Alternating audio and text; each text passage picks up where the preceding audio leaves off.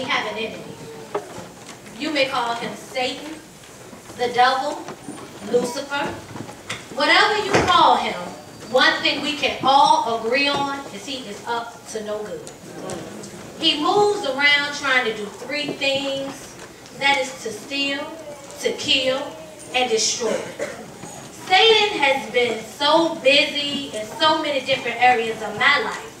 In fact, it seems that ever since I've been on this pursuit of Jesus, the enemy has really been on my back. And it's been an all-out war. Satan tried to steal my joy. In the past few years, my employment status has been kind of sketchy.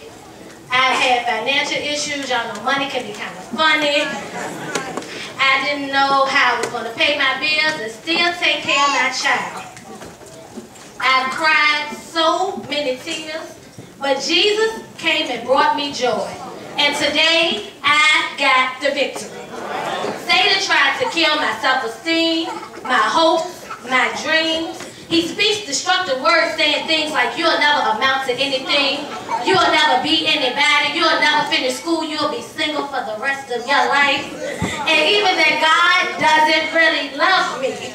But then I hear the words of God speaking to my heart, saying neither death, nor life, neither angels, nor demons, neither the past, nor the future, nor powers, nor height, nor depth, nor anything else in all creation will ever be able to separate me from the love of God. Because we've got the victory.